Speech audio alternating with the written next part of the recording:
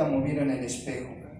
El alambrista gritaba, la llamaba con urgencia, que ya era hora de su acto. Silvia se supo distraída, desconcentrada. No podía olvidar a su madre desnuda, teniendo sexo oral con la equilibrista. La noche anterior, mientras su padre bebía con los de la banda de música en el palco después de una función exitosa, y caminaba despacio hacia el entoldado. Parecía que contaba sus pasos como cuenta siempre cada uno de sus pasos hacia las escaleras que la conducen a la altura máxima del mástil. Iba agachada mirando sus pies y piernas amoratadas por los golpes del trapecio.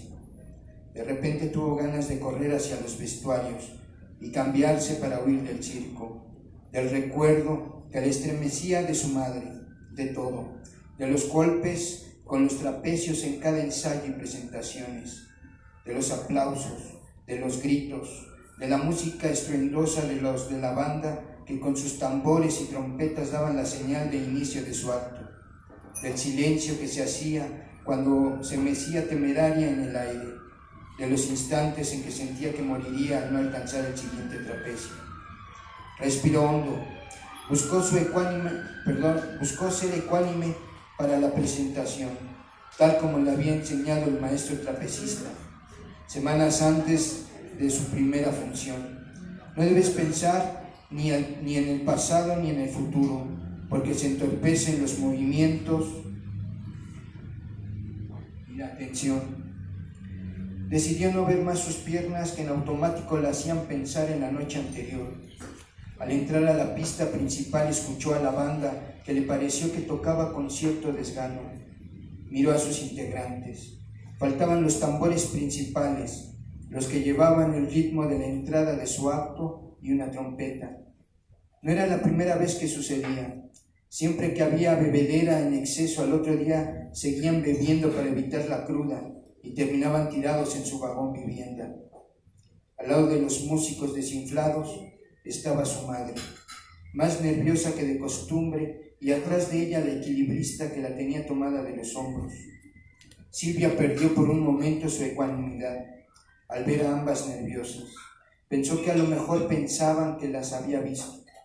Ella y su padre eran los únicos que tenían llave, porque al verlas no quiso ver más, y en su, en su precipitación por salir tiró un paquete de volantes que se regó en el piso y cerró la puerta despacio buscando no hacer ruido con la campanita que puso el dueño del circo, desde un día que trataron de robar dinero y que avisaba si alguien entraba o salía del vagón donde dormían sus padres, los administradores y pagadores de todo el elenco.